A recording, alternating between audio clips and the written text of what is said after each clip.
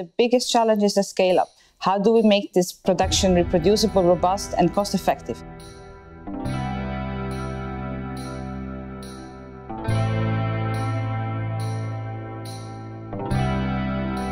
We are developing um, groundbreaking medicine, especially for the patients which have the most advanced condition in liver diseases.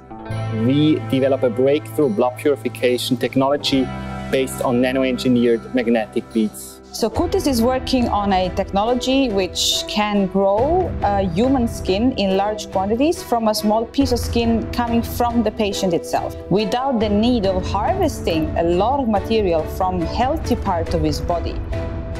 We know that approximately 25% of everyone is having a certain liver diseases and we don't have the right tools and the right medicines today to tackle that.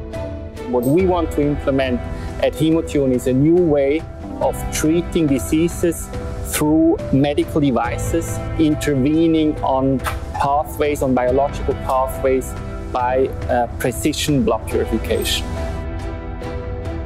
We would like to have our product as a routine product for patients in need developing the right product to address the right patients, to address the right customers, and, and improving our lives, you know, in a, in a significant way.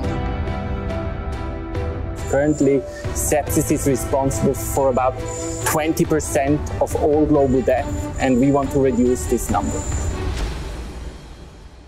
I am a mother of two small kids, so I wish for myself to keep up with the energy to run such a business. And I wish my team to be around me the same way it is now, so that we really keep up with the spirit and, and, and go to the finish line.